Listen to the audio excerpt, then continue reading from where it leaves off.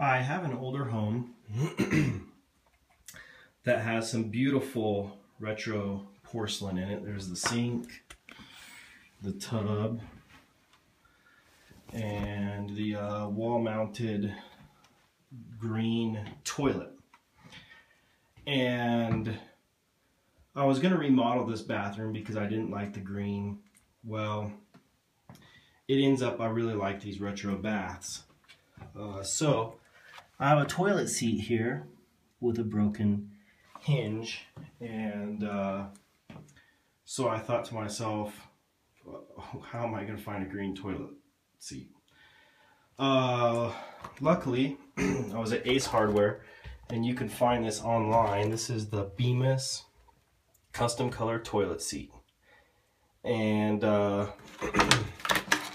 what you do is you bought it I mean, you can find a better deal, maybe. I don't know. I, I paid $40 for it. It includes the shipping to ship your toilet seat to your house for that $40. It comes with a custom color toilet seat order form, some chip, sorry, some chip samples of, I think they said 94 different colors. Uh, let me try, I'm trying to feel with one hand and do this with the other. So I think there's 94 chip colors. And you just match the color of your toilet uh, to these samples. Uh, fortunately for me, uh, my toilet is a crane.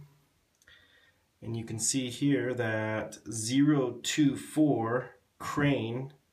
Oops, I'm sorry. I grabbed the wrong color chip here.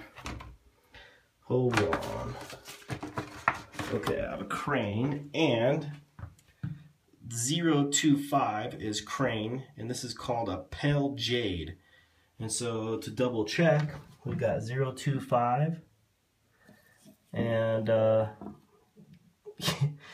in the video it really looks like this 035 is a better match. Um, there's the toilet seat on the 025 and the 035. Geez, I might go ahead and order the 035. It seems to be matching a little bit better. Yes, I think I'm going to do that. Anyways, uh, I'm going to order the 035.